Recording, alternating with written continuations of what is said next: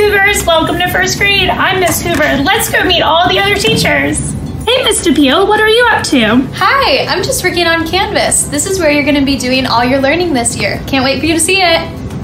Hey, Mrs. Keeker, what are you doing over here? Well, first grade, I am working on S'more, which is the newsletter Mr. Raybold uses, and we are going to use it too to keep you up to date on all the new information you need for first grade. Have a great year. Hey, Miss Perez, what are you doing over here? Hey, I'm getting ready for virtual learning. When it's time for your virtual learning, make sure you find a comfy, cozy, and quiet spot so you can do your best learning. See you soon. Miss Wilson, catch! Oh, hey, boys and girls. Don't worry, you'll still get your specials this year. Even though it may look a little bit different, the specials teachers are excited to see you.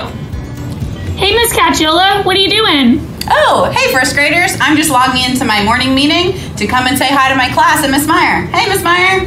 Hey, Miss Catchiola, how are you? First graders, I'm so glad we're going to get to see you every morning at morning meeting. We're going to have a great year, first grade.